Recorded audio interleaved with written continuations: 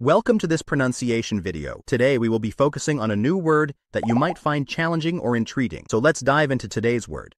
Appended, which means added or attached as a supplement or extra part. Let's say it all together. Appended. Appended. Appended. One more time. Appended. Appended. Appended.